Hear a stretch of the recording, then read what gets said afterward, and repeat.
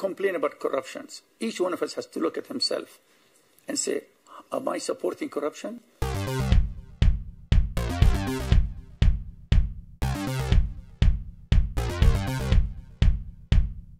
When I speak to mothers in your country, those mothers that were holding the lines of protests, they are deeply concerned by the fact that they have to send their children away from their country to find jobs and economic opportunity.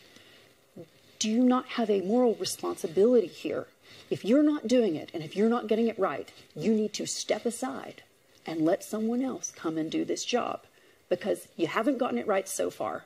And your country, this beautiful country of amazing people, is being destroyed.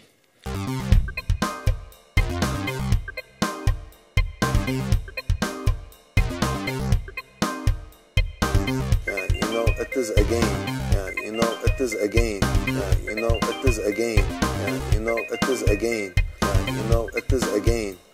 You know, it is a game. You know, it is a game. You know, it is a game. We need a productive economy to create jobs. We cannot have a country without agriculture, without industry, based only, you know, on being. Uh, How many years have you had that to create that? How many years have you been in government to help create We that have narrative? to start it. This is. We're going to start it now, not the how many years Yeah, you've been you know, we- this is our policy. This is what we've been fighting for since the beginning. Yeah, you know, it is a game. Yeah, you know, it is a game. Yeah, you know, it is a game. Yeah, you know, it is a game. Yeah, you know, it is a game. Yeah, you know, it is a game. Yeah, you know, it is a game.